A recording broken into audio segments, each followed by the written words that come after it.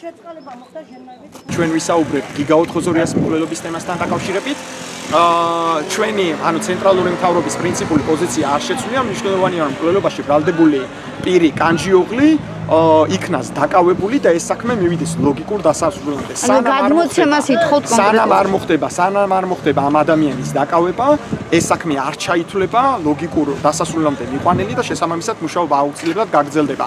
ცენტრალური მთავრობის პირველადი პოზიცია და პრინციპული პოზიცია, პროგრამა მინიმუმი, პროგრამა მინიმუმი არის რომ მოხდეს ამ ადამიანის დაკავება. ღევანდელ შეხვედრაზე ვისაუბრეთ სწორედაც იმ უკანონო დაკავებებზე, რომლებიც ეხება ეგრეთ წოდებული საზღვრით უკანონო კვეთის ბრალდებით დაკავებულ პირებს.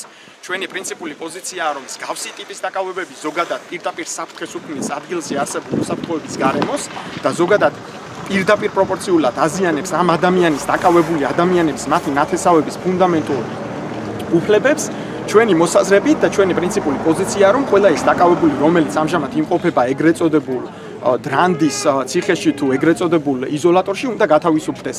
საუბარი ცხადია შეეხო იმ ქალბატონებს რომლებიც რამდენიმე დღის წინ იქნან დაკავებულები და ჩვენ გვაქვს მოლოდინი რომ უახლოესი 10 დღის განმავლობაში ეს ადამიანები უნდა იქნენ გათავისუფლებული. იმიტომ რომ ვითხოვენ ისეთ ვიღაცას, რომელიც საქართველოს ხელისუფლებას ეშინოდა.